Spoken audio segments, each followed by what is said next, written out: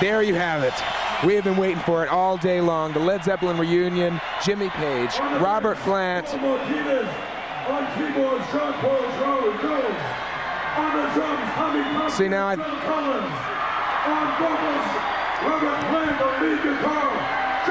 John Paul Jones, uh, as mentioned, Paul Martinez, Phil Collins, and Tony Thompson, both playing drums in this Led Zeppelin reunion. This is one of the reunions you can't help but wonder what is going to become of these relationships once Live Aid passes. Ben Orr is here with us from the Cars. Hi, how are you? How about this? It's great. It's just awesome. Whoa, can you It believe is. it? A Led Zeppelin reunion? Unbelievable. It wouldn't happen again, and I, I couldn't even imagine. I couldn't imagine it happening again. Ben, I ben couldn't was rocking. Ben,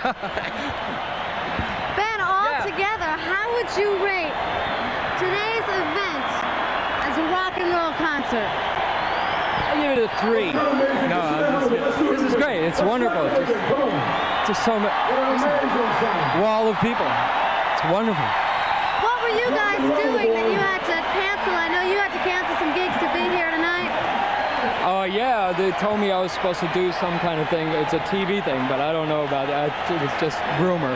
Oh, It's supposed to be like a Miami Vice thing, but I don't know. I think it was a rumor myself. Something sort of like a Miami Vice thing. I think it was supposed to be a Miami Vice thing. I didn't get a chance to talk to Don, but he's around here somewhere. I might run into him later. And I know This is great. You stuck around and been watching the show. What's been the most thrilling moment for you as a fan?